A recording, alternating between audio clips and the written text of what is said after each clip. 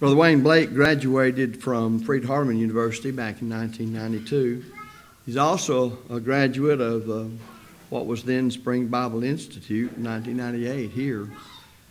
And he preached full time for 12 years, and he's been preaching part time for 26 years. Preached in Texas, Louisiana, Arkansas, and te- Tennessee. He worked with uh, Bible camps in Texas and Louisiana. He's spoken on lectureships in Texas, Tennessee, Louisiana, Florida. His wife is Laura, they have one daughter, Jenna, who's with us. Laura, I think he's had to work today, is that right? And uh, Brother Weldon Blake's his father, and uh, his mother's here too. And we're grateful that we can uh, know them and have a close association with the Fish Hatchery Road congregation where he's a member, Huntsville, Texas. There's one thing, Wayne, you left off of here uh, your employment with the gated city in Huntsville.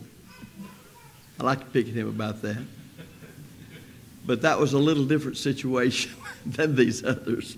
But we want to hear Wayne speak to us on Christ confronted worry. So we hope that you'll come and deliver this lesson, and we look forward to hearing it. 40 minutes. Okay. It's always a pleasure to be able to speak and to be able to be invited to be a part of lectureships like this and others, sound congregations, elderships, gospel preachers in the audience. Um, I remember when I was a student and then when I first began preaching, one of the scariest things for me was to be able to speak to other preachers. That just scared me to death because it's like, what do I have to say that they would want to hear? And anyone who has done public speaking knows that's scary in and of itself. And then when people start praying for you, you even get worried. What am I gotten myself into? And this morning, we're going to talk about Christ confronting worry. You know, I look around the world and I see a people that are worried to the point of chaos. People are worried who's going to be the president. People are worried about who's going to be the latest leader of some foreign government, the price of gasoline, the carbon footprint that we're all leaving behind, the amount of coffee or the amount of tea someone drinks.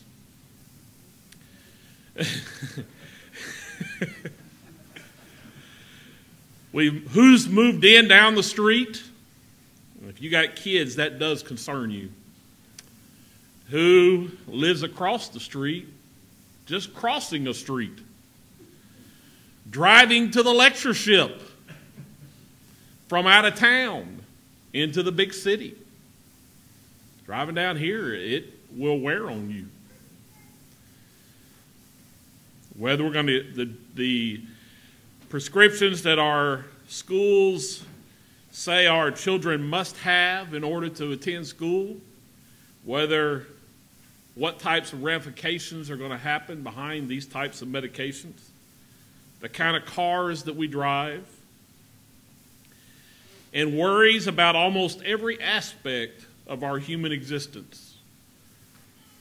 I uh, find it as a curiosity a show called Doomsday Preppers. And if any of you have ever watched this, it is a curiosity. And I know some people like this that are of this mentality. I have a brother in law. If you don't know what this show is, I'll just very briefly. They uh, go into a family, a snapshot of a family, and this family believes that the world is coming to an end in some sense. Uh, whether uh, the financial markets are going to be torn down, the uh, oil is going to be taken away, or whether our government's going to take this or do that. In other words, there's all types of calamities that are going to come upon us as a human ex- experience. And these people have dug bump bunkers down in the bottom of the ground, underneath, and they have built these underground cities and with MREs and all these kind of things down there to where that whenever this great calamity happens, they're going to run to the hills and they're going to get out in the ground and they have enough food and water and the ability to live in these underground bunkers for an extended period of time while all the bad stuff is going on up here. Folks, we are confronted with worry all around us. People that are just worried. They're spreading their doom and gloom. You read about the dangers and pitfalls of life here on earth. We read about it daily, hourly. There's no small wonder why half of our population is either medicated, high, or drunk on the latest thing that has come down the pike because they just don't want to deal with what's going on around them. Where does all this stop? Can it be stopped? Or is just mankind just getting caught up so much in this frenzy that we're nothing more than a bunch of warriors? You know, Jesus dealt with this same type of mindset. Those same weak need, those who were faithless, this attitude that plagued mankind even in the first century and before then. But Jesus particularly dealt with this very idea. If you want to, turn over to Matthew chapter 6. People have jumped all over this, and they haven't dealt with my thing, so I'm all right. They've mentioned it, they hadn't said it, uh, talked about it, so I was happy. He begins in verse 20, 25. He says, Therefore I say unto you, take no thought for your life, what you shall eat, or what you shall drink, nor yet for your own body, what you shall put on. Is not the life more than meat, and the body than raiment? Behold the fowls of the air, for they sow not, neither do they reap, nor gather in the barns, yet your heavenly Father feedeth them. Are ye not much better than they? Which of you, by, by taking thought, can add one cubit unto his stature? We're not going to make any smart jokes. And why take ye thought for raiment? Consider the lilies of the field, how they grow. They toil not, neither do they spin. And yet I say unto you that even Solomon in all his glory was not arrayed like one of these. Wherefore, if God so clothed the grass of the field, which today is, and tomorrow is cast into the oven, shall he not much more clothe ye, O ye of little faith? Therefore take no thought, saying, What shall we eat, or what shall we drink, or wherewithal shall we be clothed? For after all these things do the Gentiles seek. For your heavenly Father knoweth that you have need of all these things. But seek ye first the kingdom of God and his righteousness, and all these things shall be added unto you.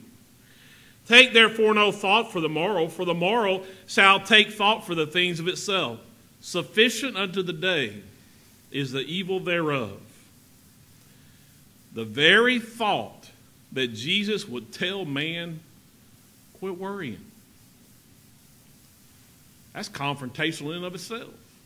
I know when I tell my daughter to quit worrying, that doesn't help her. It didn't help my parents when they tell me to quit worrying. Just to be told to quit worrying doesn't help because that only compounds the problem. We've got to get to the root of the problem. Why is it that I worry? What are the concerns that I'm dealing with? Well, Jesus said, Give no thought to these things.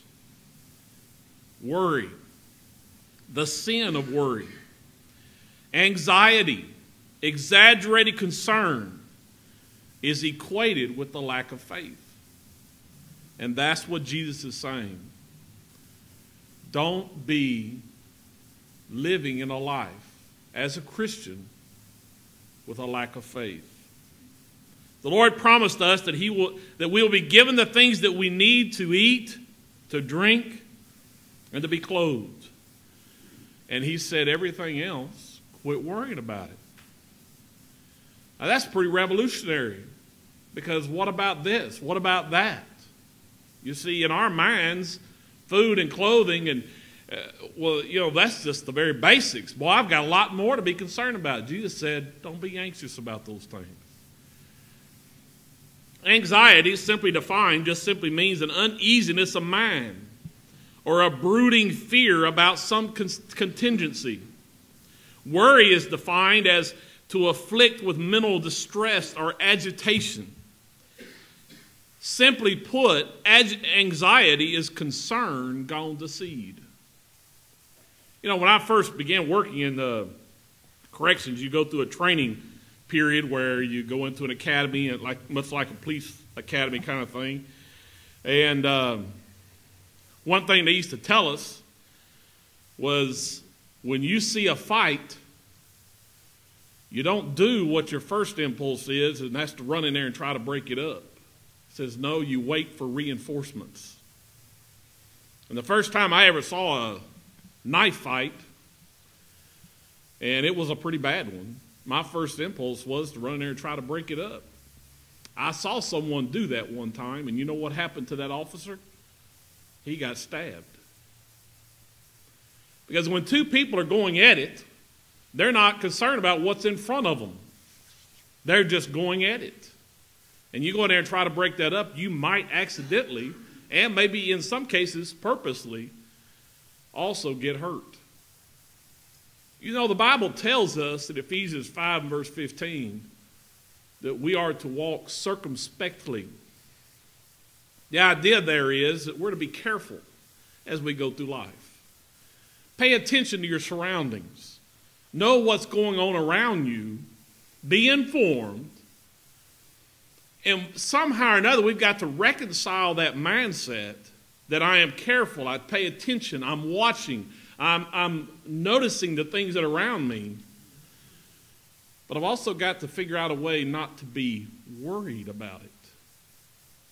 And that's what Jesus is saying. He's not saying you just go blindly through life and don't know what's going on one way or the other, and you just kind of fall through life. That's not what he's saying here. But what we are to do is not to be worriers. Not to be worriers. You know, I want to begin by saying this because this, like the book of James, is easy to understand, but it's hard to apply.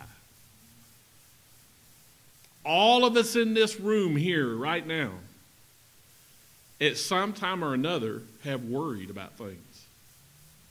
Some of you might be worried about something right now. Did you leave the coffee pot running this morning? Is your is someone going to break into your house? Is someone going to? And I'm not asking for any of these things to happen, but just by parking your car right out here, is something going to happen to it? We might have those kind of thoughts in our minds. Jesus says, quit worrying. Don't be anxious. So it's easier to say it and to understand it but it's applying it where we have problems. The Christian will constantly struggle with concern as we live here in this world. But we need to remember the command of Jesus to stop worrying about things that we have no control over. And that's where it really comes down to. You know, you got bad weather coming in. I live in a modular home. Uh, if you don't know what that is, it's a house on wheels, but it's nicer.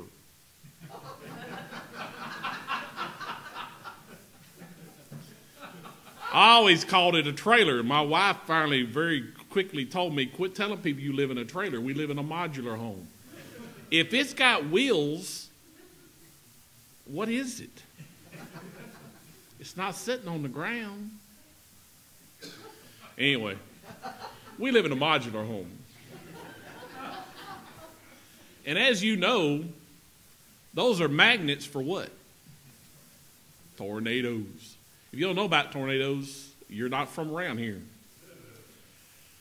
We get high winds a lot. But you know what? When I know there's things like that in the area and it's bedtime, guess what? I'm going to bed. And I've been asked, how can you sleep with all this bad weather? Because you know what? If I worry about that, I'll be up all night. I can't worry about that. And if it's my day to go, then it's my day to go. You see, there are some things we have no control over. And I'm going to tell you something no matter what the scientists and the nuts say, we have no control over this climate. What's coming is coming. And if it's going to be a hurricane, if it's going to be a tornado, or if it's just going to be a simple shower, it's coming. And there's nothing you're going to do to stop it. Well, that's the problem. We're going to struggle with this all the time. But we need to be content with the things we know and know that we're going to be blessed with, and that is food and clothing. God's told us He'll provide those things. So quit worrying. Jesus reminds us that it's a fruitless to worry. To the very simple idea of our height,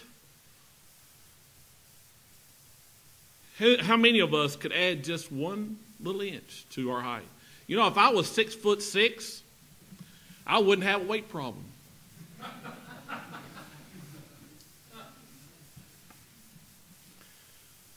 and if some people were whatever, if their parents weren't so ugly, they wouldn't be ugly. or their nose wouldn't be so big. Or their feet wouldn't be so small. Or whatever. Just fill in the blank. But you know, we live in a world that is concerned about all those things. Concerned to the point where there are people that are walking around this world that are more plastic than they are human. We do have robots among us. Aliens. They're here. But people worry about that. They worry about it to the point where they'll spend everything they have to look or be something else.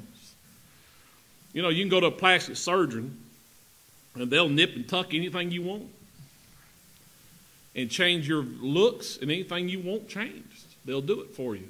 They'll change you from a man to a woman or a woman to a man. They'll do whatever you want. People are worried. People are worried. Jesus tells us all these things are vanity. They're empty. They're vain. Why be concerned about those things? Where is our faith, our confidence that God will provide the things we need? You know, I don't need a smaller nose. I don't need a bigger nose to get through this life. But there are some things I do need. I need air, I need food, and I need clothing. Because I really don't want to see a bunch of naked people walking around. And a lot of people wouldn't want to see me naked. So let's just be honest. We do need clothing, but we do need food, and we need water. But the Bible says that's all we need to be concerned about. Is our height, our weight, or our looks going to directly affect where we're going to spend eternity? It will if our attitude is wrong about them.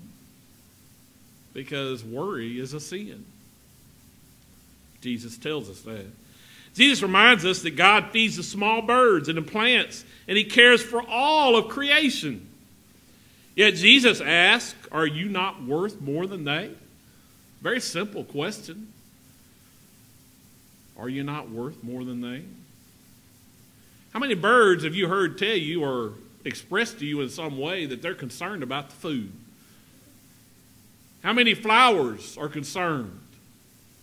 about how they're going to be taken care of. You see, the idea there is they just come and go. They're not concerned about those things. And if they're not concerned, Jesus says, Are you not worth more than they? If God takes care of them providentially, will He not take care of you also? There's something that is different between us and them. We're created in God's image. They're not. They're souls. We are souls. They are not. The Jews of Jesus' time were concerned with appearance, how much land they had, how much money, how much wealth they had. Yet Jesus says we're not to worry about those kind of things. Don't be like that. We must not forget what is truly important. In Matthew 6 and verse 33, seek the kingdom first. That's what's important. That's what's important for all of us. the emphasis in Matthew chapter 6, verse 25 is on the word therefore. There is a word there that is, that is what we call a conclusion indicator. Basically, what it says, in light of the things that I have said, therefore, listen to this. And it began in verse 19 down through verse 24. And it teaches us that we're not to worry about the riches of this world. Someone's already talked about that. We are to trust in heavenly riches and not in worldly riches. Don't be concerned about those things. There is no amount of fame or fortune in this world that can change the fact that with every breath you take, you're getting closer to death. I told that to a young person one time. I asked him, I said, You know, every day you live, you're getting closer to death. And I just blew his mind. Because he had never thought about it like that. Well, us who are getting close to 50, you know, we think about that. think about a lot more than we did when we were 15. I didn't think about death all that much when I was 15. But boy, when I hit 30, then when I hit 40, and then this year when I'm fixing to hit 50, let me tell you something. I'm thinking about death pretty, pretty often. And not that I'm looking forward to leaving this world in the sense of family and all that, leaving them behind, but the idea is, folks, every breath we take, we're getting close to that time. That much closer. Yet I find this whole idea of the global warming issue to be one of the most blatant signs of man's arrogance. This, along with many of the other man made disasters that man uh, derives, he continues to devise, just shows how ungodly and ignorant people are today. We're told that we need to save this planet. Well, how are we supposed to do that? Well, quit buying paper. Save the trees. You know, I, I, they used to give you an option. They've even taken that away from you now. Paper or plastic? I'd always say, I want paper because I want to kill some trees. And I would say that to the person. Some of them would laugh, and other ones would walk away in fear because they thought he's got a bomb on him or something. Well, now you go to a store, you don't get that option. You don't see paper hardly in any stores anymore but you'll see a lot of plastic. Well, now we don't know what to do with the plastic. Well,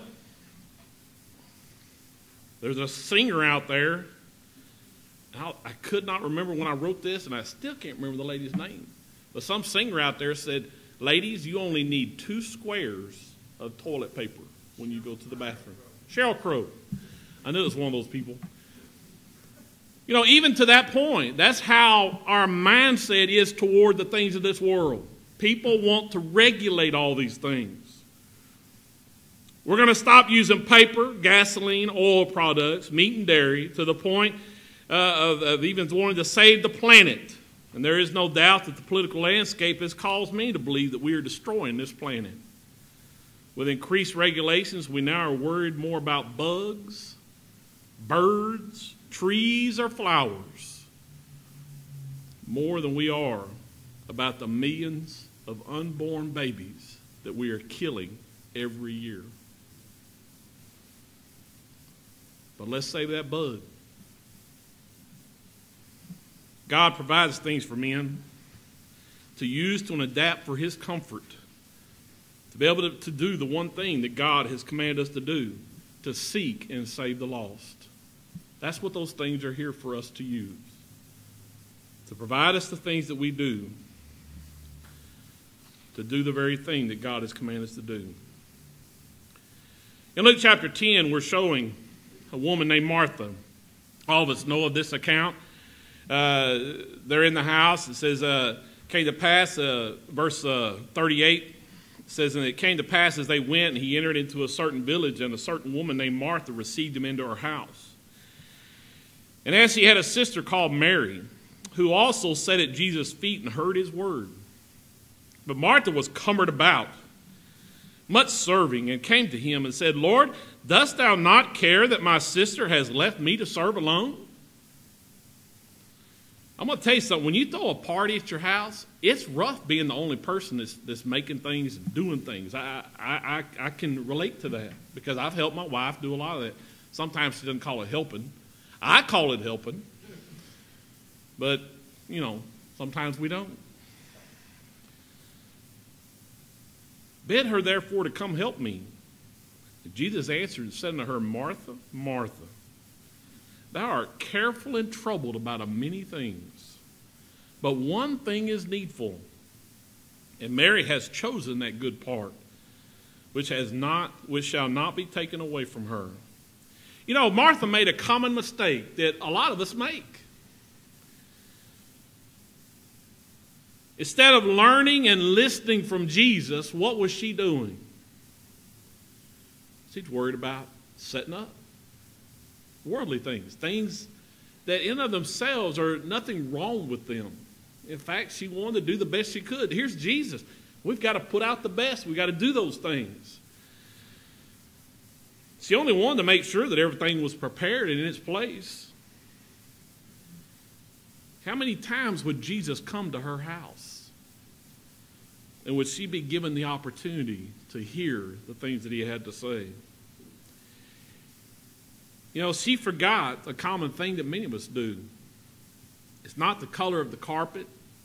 It's not the kind of linen or the cloth that you're using. It's not the type of things that you're going to eat off of or the amount of forks that you have at the table. Those things don't really matter. What matters is Jesus was there, and there was much to learn. She forgot, she overlooked the most important things.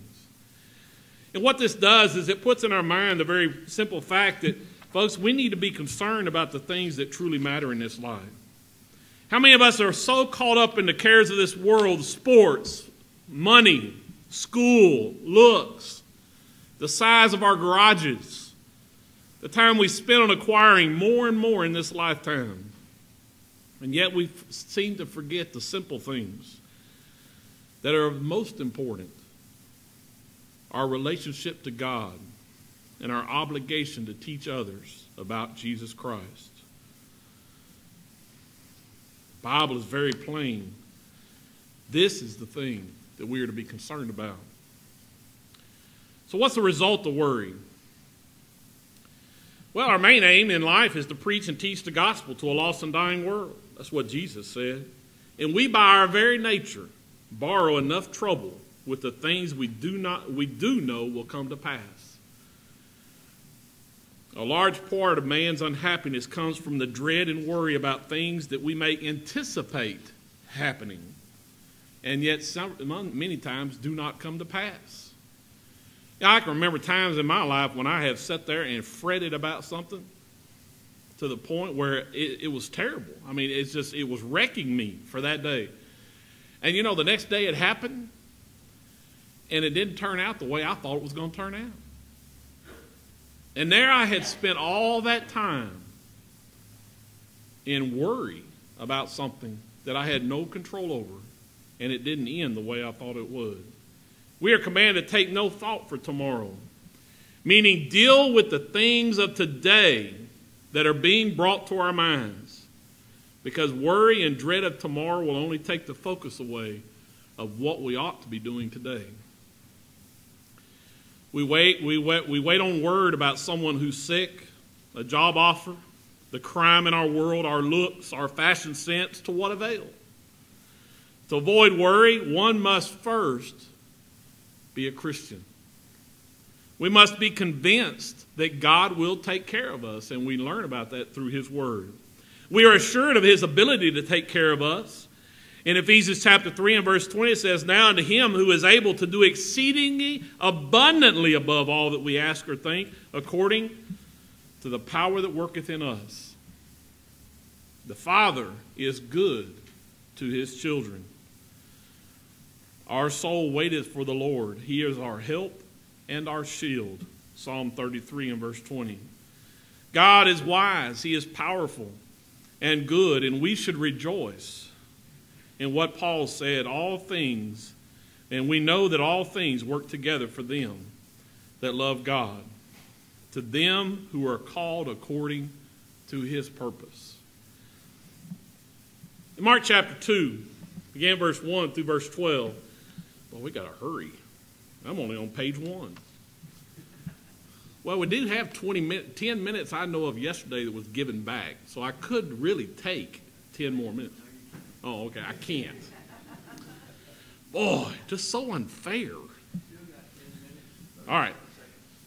Mark chapter 2, verses 1 through 12. We're not going to read this, but what we have here is a situation where a man with palsy they wanted to bring him before Jesus, and the room was so full, the house was full, they couldn't bring him in there through the front door. So what'd they do? They tore the roof off, and they lowered the man down in there. And it says in verse 5, it says, When Jesus saw their faith, he said unto the sick of the palsy, Son, thy sins are forgiven thee. Just the very actions of those people showed Jesus that they had faith. You know, when we're going through the rough times, tough times, and when we are concerned about our physical health or any other things that we deal with from day to day,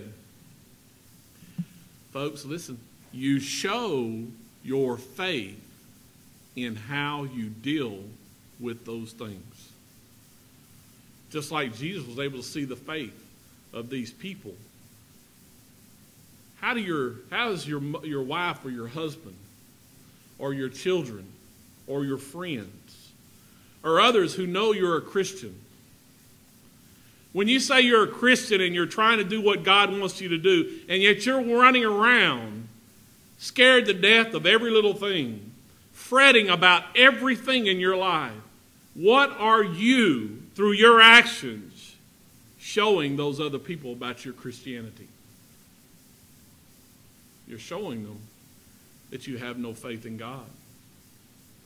You see, Jesus, by their actions, saw they had faith. I can see whether you have faith by the things that you do or don't do in this life.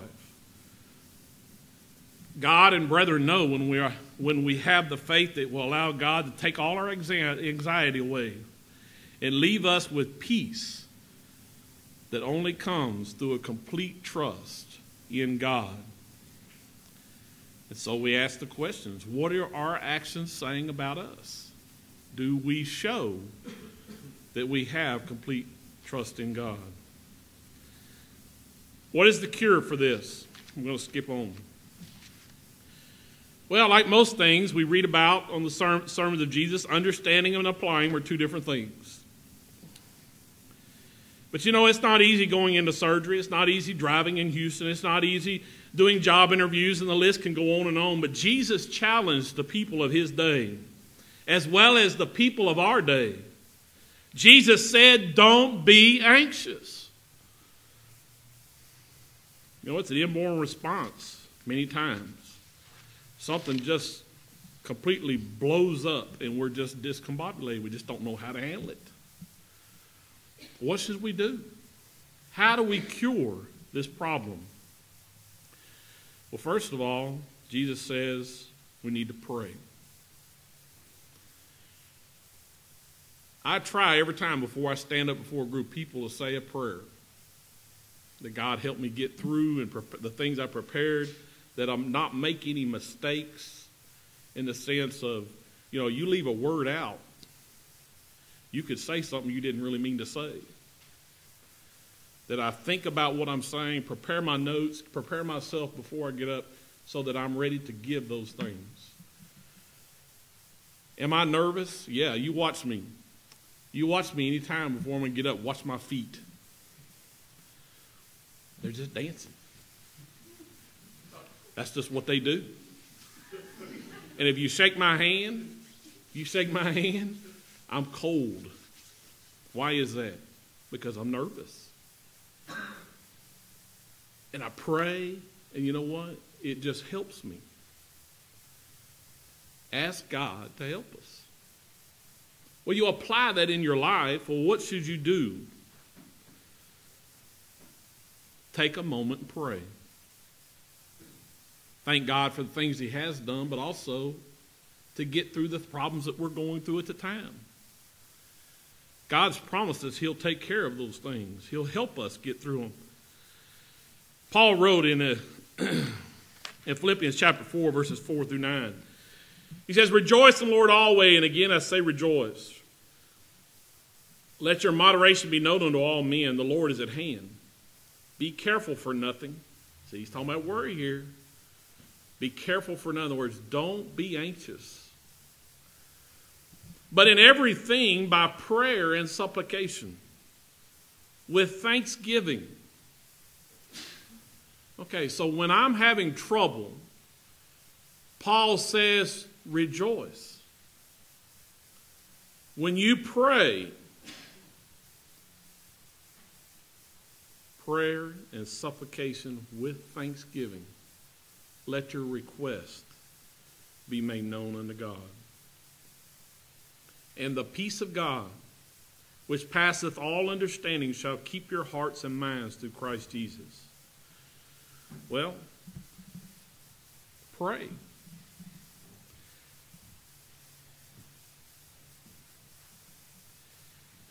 He says we're to rejoice. This is coming from a man who was locked up and in prison waiting execution.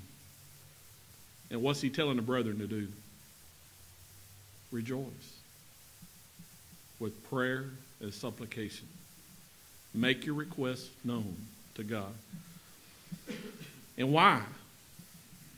Well, I think there's a key phrase there. He says, because the Lord is at hand. God's there. He's listening to your prayers. And through His providential care, He can help us get through this. Thirdly, we're to be anxious for nothing. Worry causes our influence and our character to be less than what it ought to be. You know, we preach and teach by our example. And our words and our actions cause less assurance to those who profess to be Christians if we are allowing the things of this world to constantly beat us down. We do this by prayer, supplication, and thanksgiving. If we want to keep worry from our lives, we need to learn, learn to pray more and trust God. Lay our concerns at the feet of our mediator and thank God for all that He does in our lives. You know, I, I think about that, and, you know, all of us need to have the mindset that whenever we're in trouble, when things are going the way they are, and we just don't, we just seem to be without hope, God says, pray. Talk to me, is what God says. Talk to me. And God says, I'll listen. And we'll get through this. You know, sometimes that comes from a kind word from a brother or sister in Christ. Comes through a prayer that someone may lead on our behalf. But it also comes by our relationship to God in our talking and communicating with Him. Simple statement by Jesus don't be anxious. Easy to understand, but even harder to apply. Thank you for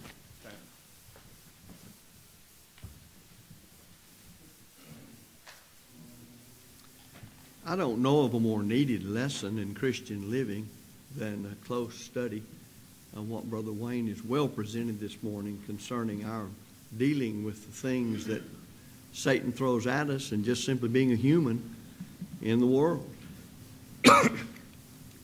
he didn't know it, but he exemplified just a few minutes ago what's a big bother to all of us. Right in the middle of his sermon, he realized he only had 10 minutes. He started that dancing and, and, and he started uh, bewailing the fact that he didn't have more. And what was it? He was taking up the time that he did have. He was worried about it. Anxious about it. You know, worry is taking thought about that which you can do nothing about. Anxiety is worrying in a fire ant bed. And you will dance if you keep standing there. You know, one of our, our, our big problems, and, and I speak for all of us, regarding trusting in God, which is our trust is to be based on His Word. We don't just say, I trust God. We have no Bible for it, for faith comes by hearing the Word of God. I trust God for something, the Bible says I have a right to. Romans 10 17. Well, one of the things is that we want it all done on our timetable. How would we ever learn to trust God and overcome worry if we didn't have those things come upon us that we had to learn to deal with? How would you ever learn the importance of benevolence if some people weren't in a bad shape so we could be benevolent? How would you ever learn to control your anger if it wasn't possible to be angry? angry? So God's made a world perfect for what He intended it to be. Couldn't get any better. It's a place to get ready for heaven, and that means overcoming the flesh by serving God according to His Word, and that involves faith or trust or belief.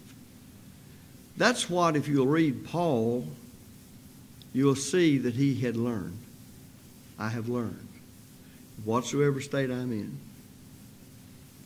not to be satisfied, but to be content. No faithful child of God's going to be satisfied till they walk into the streets of glory, having heard from the lips of our Lord, Well done, thou good and faithful servant. But I can be content. Great amount of fear that haunts folks is, is just simply invented, made up. Also, I think probably that one of the things that bothers us a lot is other people. We know what they ought to do, and we're doing it, but we can't get them to understand what they're doing to themselves and the ungodly lives they're living. And we fret about that. What we have to do is realize God has it all in hand.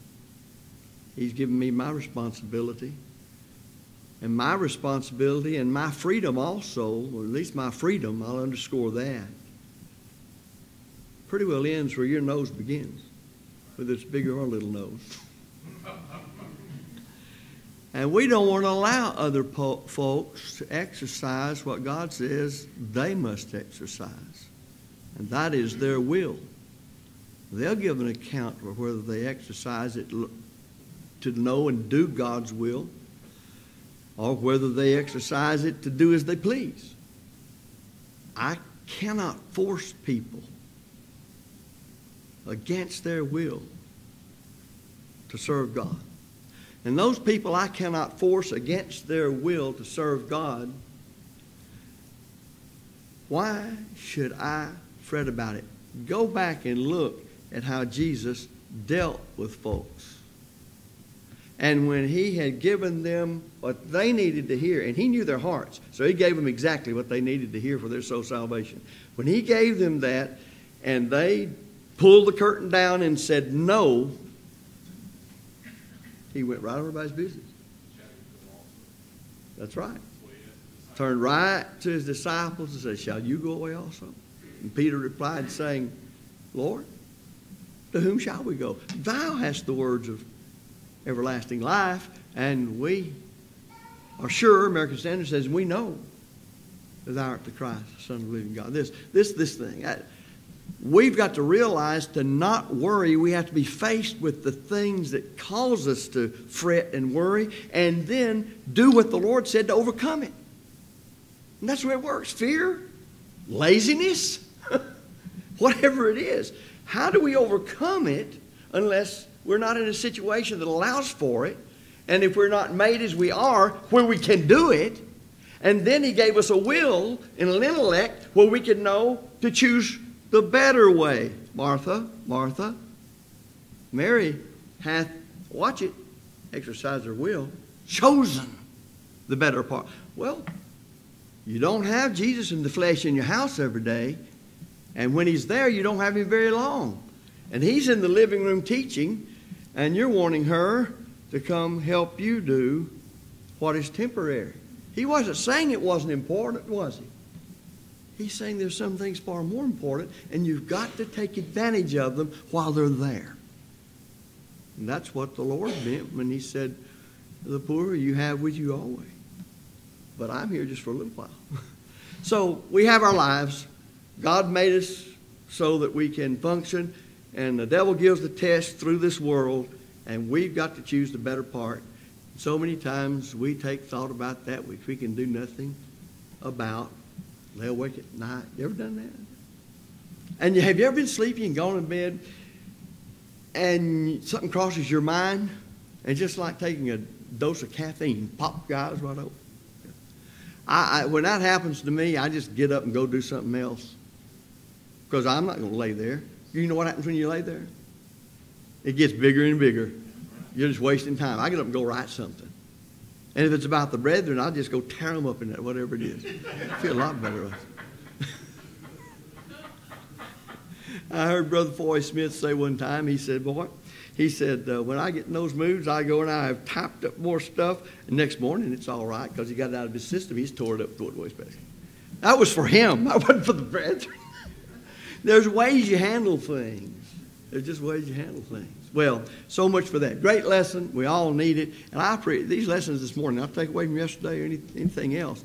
They just well delivered. And I'm glad to have had a part, at least in a couple of these fellows' training. I won't claim by any means all of it. But I'm glad to have had a part in, in seeing where these fellows are and thinking if they'll stay faithful, what they can do for the Lord's church and, and, and the salvation souls of people when I'm no longer here, not able to, not able to function that is an encouraging word. And uh, if I die before you do, Wayne, uh, I'm going to tell him you're coming.